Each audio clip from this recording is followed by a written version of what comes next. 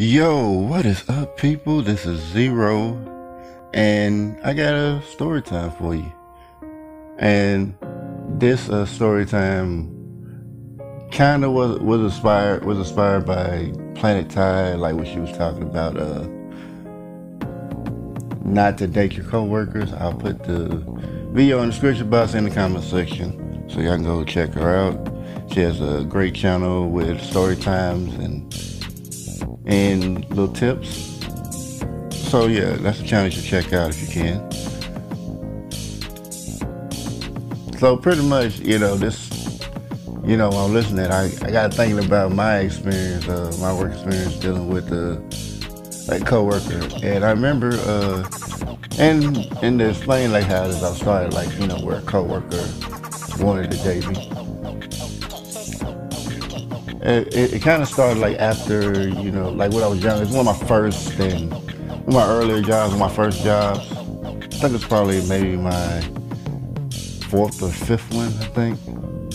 But it was still like pretty early with me, you know, doing jobs. I think I was, I was, I had, I had to be 21 when I worked this job. Yeah, I think I was. So when I went uh, and worked at his job, and I think I worked there maybe either a few months or a year now. And I think it was like some new people came in. You know, it was it was it, it was cool. I mean, I mean, the job paid, but I, yeah, the the way they did stuff, I just didn't like. Like, I worked as a concession attendant. I worked at a like the Soul Mason now. It's like called the Bridgestone Arena now, but at that time, it's called the Sommet Center. And I mean, of course, I, I mean, I remember, uh, you know, I just, I usually just come in, and I do my work, and I'm chilling. You know, I usually don't even really, you know, talk to folks like that unless I'm just cool with you like that. Or, you know, you seem like you cool talk to. And I and I know like you know work like I know I've had like uh, I've had like people uh, you know ask me you know ask me like uh, well no I had one female ask me. And I remember like her asking me and I, I remember she said it like she was talking about like yeah you know go you know such such thing like homecoming or something like that. And I thought she was just you know playing around like I was like can't be serious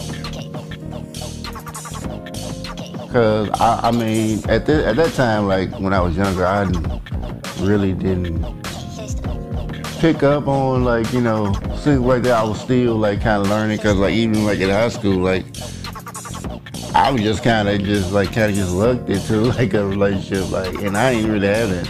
I ain't, I ain't had, I really don't have that many uh, like far like boyfriend girlfriend relationships. So I mean, I wasn't like no player or nothing like that. And, and after, you know, seeing my friends, like what he go, what he went through, like doing like players bill, like third high school, like, nah, I'm good. but I remember there was like one one girl that was like, you know, that, asked me, and I, I thought she was just playing. And then when she came, I was like, you know, pretty much like she was like, you know, she, you know, she told me like she really was serious. Like, I think we got close to it. I just, I didn't know what to say, so I just laughed and just went away. Like, I mean, you know, when wasn't nothing wrong with it. It's just like I just wasn't feeling it like that, and I didn't. I mean, she went. She was cool. Like I'm pretty sure I probably would have been, you know, cool with her, but I just, I just didn't know how to react. So I just laughed and just walked off, like just her ran out. Like I didn't know how to react to that. And you know, of course, like you know, I think I think I remember had like one manager. You know, I mean, like it was kind of crazy. Like I had one manager who kept, who kept, you know, kept trying to, you know, like very aggressive, like trying to, you know, me talking like, yeah, you, I mean, you like it, whatever. Like, I mean, I had no attraction whatsoever, but she was talking like she was gonna like, well, she was talking, talking like she was gonna kidnap me or and and make me, you know sleep with her, and nah, I'm like, nah, we ain't doing that. And I'll tell people like, hey, if I'm if I'm missing, you know, that's check her house. Like, you know, they were laughing. I was like, I was dead serious. if she if she was able to do that, but but yeah, yeah. I mean, I mean, you know, it's like it's like until you really kind of explain it. You know, when I when I got this new job, you, this is like, and then this probably goes to another story too, because I know I'm kind of going back a little. I know I'm going back, but you know, I got another story where uh, I had actually met Lil Wayne, and, I, and I'll get into that later. It's like I sort of but uh, I, will explain in, the, in another story time, maybe the next one. So, pretty much had had like, you know, coworkers, you know, coworkers like that. And I, I really, she really kind of made me go with all that. And at the time, I didn't think I could, you know, go to HR with such a harassment about that. And, and, and even if I did, I don't even know if I would have been taken seriously in the first place because you know people tend not to take guys seriously in that especially if the woman's attractive but she was i don't think she would be considered very attractive that case but even though she but she's a woman so she they made they made just uh, laugh laugh at it anyway and just tell me to just deal with it or whatever. So i was like okay. So i was like well i just had to put up with it. I felt like i had to put up with it. And and I and I think I even had like you know like had like one guy that kept trying to hate me because like you know he I guess he I guess he thought I was you know I was I was into that because I didn't really have a problem with gay people. I mean I think I mean I was like a, like a younger I kind of kind of did but that was because I didn't really know anything about them. But once I kind of like knew like who gay people were and all that I didn't really you know feel that is that same kind of fear or whatever. So, I mean, you know, I had no problem with him, but he, you know, he got aggressive like, bro. I, I kept telling like, I'm not into you like that, bro. I don't like guys. I kept telling him that. And it was like, just kept getting, getting aggressive, like, and I, and I moved away from him because like if I, you know, I kept like trying to, you know, run away from him because if I stayed there, I'm gonna fight him. So I didn't want to do that. You know, trying to keep the job, whatever. And eventually, eventually stopped. And and I th- and I think like even and I, and I know another gay guy did. He kind he kind of like a female. Like I mean, you know, I mean, obviously you you would know he wasn't because he had the name tag was obviously a guy's name. And I mean, even though he kind of, you know, like hit on me. He wasn't aggressive. He was like, yeah, you know, he was like, he tried to shoot a shot and then I politely turned down and, you know, going about, about our day. You know, he, he, he was cool. But, but yeah, and yeah, but the, but the, but the main story was talk about like, it was like one chick I, I did actually was, was feeling and did kind of want to date, but and and I, I remember, we were talking and and uh, I remember one day she came, she came over there. She was smelling good, whatever, you know, looking, you know, looking good, whatnot. And and then I, I remember she hugged me. you hugged me, I felt like you know, like my my chest got stabbed. I was like, oh, I'm thinking like, oh, don't nipples, they felt like spikes. I, I kid you not. I kid you not, they felt like spikes. I was like, oh, ooh. but, but you know, I mean, talked to. She wanted, you know, she wanted to be me, and I was like, she wanted to date, and I was like, nah, I, said, I can't. I said, nah, I can't do that because we, you know, we co-workers.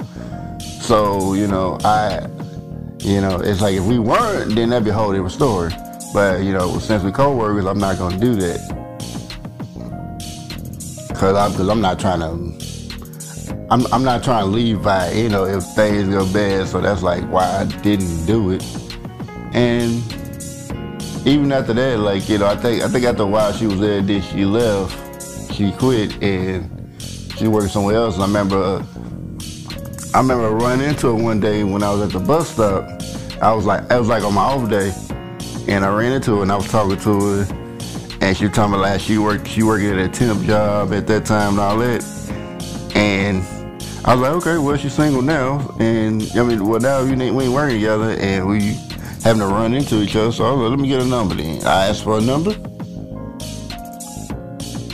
you know, and and that very day, uh, I mean, very night, and the night I I don't, know, I don't know if it was that night or the next one, but I called her, called her up at night. It wasn't like you know too late. It was like kind of like uh, probably like six or seven, you know, good good time, like where you know you expect somebody to be home from work, you know, and be killing. So it was either that or it may have been eight, eight, eight the latest. So I remember I had uh, went and called her, and you know we, you know, and she picked up. We, we were talking for you know a good little minute. And next thing I hear, I hear, you know, next thing I know, I hear, I hear a baby crying in the back. I don't know, a baby or a child, but it sounded like a baby. So, so he's like, hold on for a second. And I was, I was like, you know, just sitting there thinking, I said, man, I hope that's her, her nephew or something like. And and then I then I asked, I said, uh, asked the, I said, I said, who's that? Who's that in the background? So, oh, that's my son. And I'm like, oh, I was like, oh man, I love it. I don't know how. I'm thinking like, oh, I don't know how I feel about this.